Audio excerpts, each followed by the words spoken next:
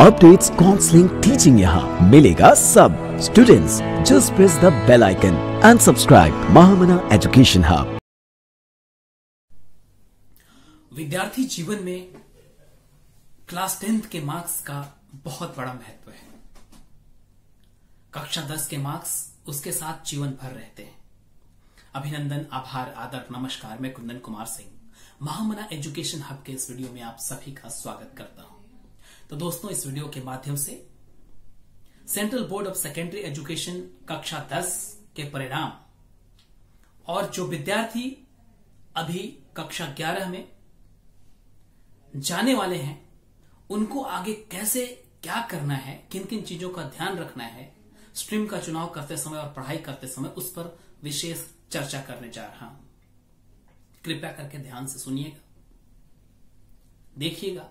और देखने सुनने के बाद में लोगों तक शेयर भी कीजिएगा। यंग लेडीज़ एंड जेंटलमैन, साल 2020 जो कि पूरे विश्व के लिए सबसे बड़ी चुनौती वाला समय है। इसी कोविड 19 के प्रकोप के बीच में central board of secondary education कक्षा 10 का परिणाम घोषित करता है।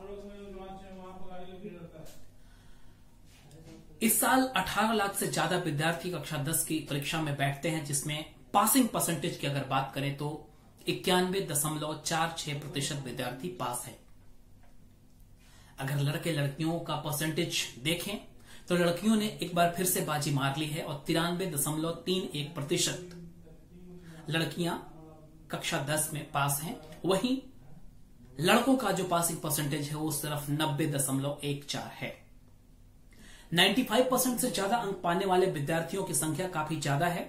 इस साल इकतालीस हज़ार आठ सौ चार विद्यार्थी ऐसे हैं, जिनके प्राप्तांक पचानवे प्रतिशत से ज़्यादा है। एक लाख चौरासी हज़ार विद्यार्थी ऐसे हैं, जिनके प्राप्तांक नब्बे प्रतिशत से ज़्यादा है। यानी कि अगर इसे रेशियो में कन्वर्ट करने की कोशिश करें तो हम ये पाते हैं कि हर एक दस स्टूडेंट में एक बच्चा ज़रूर 90 परसेंट मार्क्स लेकर के आया है। तो ये कहीं ना कहीं शिक्षा जगत के अच्छे संकेत हैं। लेकिन बात तब खराब होती है, चिंता तब होती है, जब यही विद्यार्थी, जिसने कक्षा 10 में बहुत अच्छे प्राप्तांक लिए, बारहवीं तक जाते जाते उसके प्राप्तांक कम हो जाते हैं। कई सारे केसेस ऐसे देखने को आए हैं कि the boy who has scored more than 95 percent in class tenth he has got compartment in class twelfth कैसे? ये हुआ कैसे? इसे समझने की ज़रूरत है और इसी विषय पर चर्चा करने जा रहा हूँ। कृपया करके अपने पेरेंट्स को भी ये वीडियो ज़रूर शेयर कीजिएगा। सबसे पहले तो कक्षा 10 पास करते ही आपके सामने स्ट्रीम की चुनौती होती है कि ह्यूमैनिटीज या आर्ट्स पढ़ें कॉमर्स पढ़ें या साइंस पढ़ें। तो आपको मैं बता देता हूँ कि कृपया करके आपका अंतर मन जो कहे, आपका इंटरेस्ट जो कहे, आपका काउंसलर उस निर्णय तक आपको पहुँचाए। कि आप आर्ट्स लेना चाहते हैं ह्यूमैनिटीज लेना चाहते हैं साइंस लेना चाहते हैं या कॉमर्स लेना चाहते हैं, उसी स्ट्रीम को ही परस्यू कीजिएगा, कृपया करके। ज़बरदस्ती मत कीजिएगा।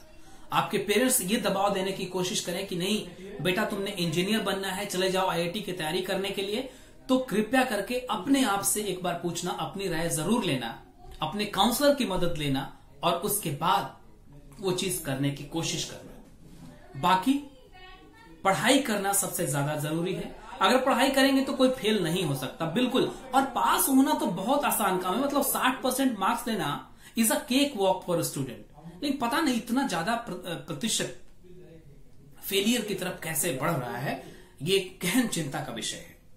तो चलिए, लेकिन फिर भी हम समझाने की कोशिश करते हैं, अगर इसमें से 50 प्रतिशत भी चीज़ों को आप अपने अंदर समावेश करेंगे तो आप ज़रूर ट्वेल्थ के टॉपर बनेंगे।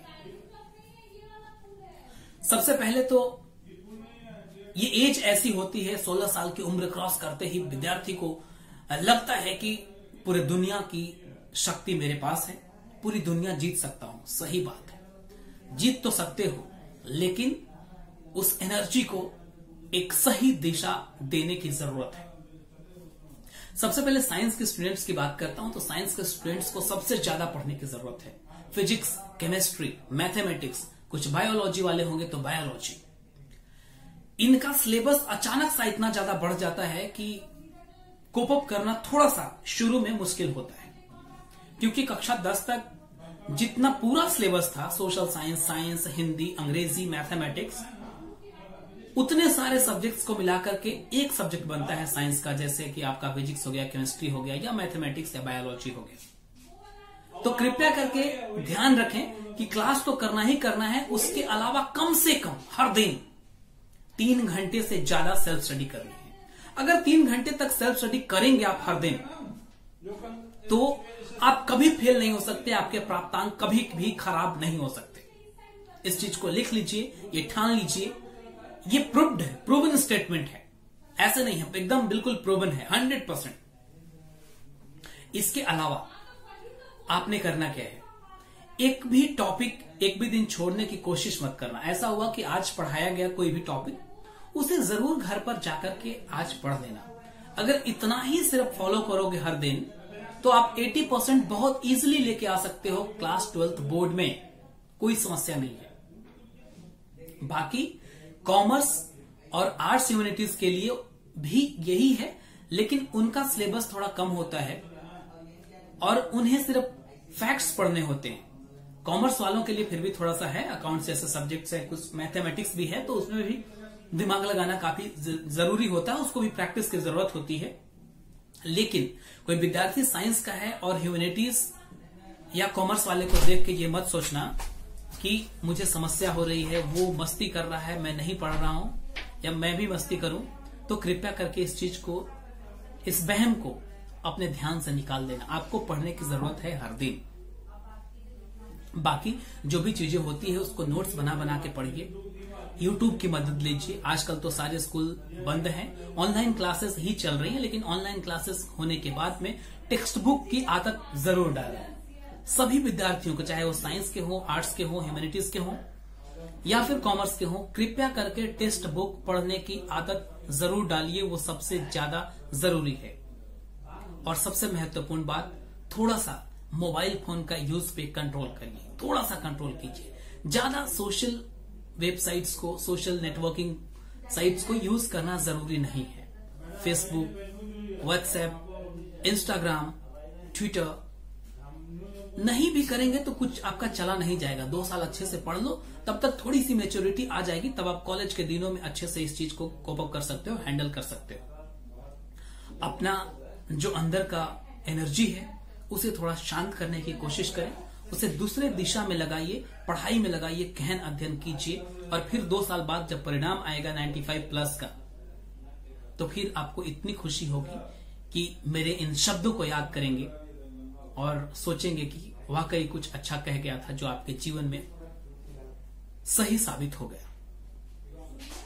तो जितने भी विद्यार्थीगण हैं इलेवन ट्वेल्थ में अभी जाने वाले हैं, कृपया करके रेगुलर रहिएगा अपने क्लासेस को लेकर के, अपने सेल्फ स्टडी को लेकर के and the most important thing is self study हमारे अंग्रेज़ी के टीचर परमेश्वरम सोनू सर कहा करते थे कि self reading is as important as anything else और मैं उसे आज भी फॉलो करता हूँ, आपको बताने की कोशिश करता हूँ। कृपया करके इस वीडियो को मैक्सिमम लोगों तक शेयर करने की कोशिश कीजिएगा। अगर पसंद आ गया तो लाइक भी कर दीजिएगा। अगर इस चैनल को अभी तक आपने सब्सक्राइब नहीं किया तो ज़रूर सब्सक्राइब कर लें। Young ladies and gentleman thank you watching and all the best for your bright future God bless you all good luck नमस्कार।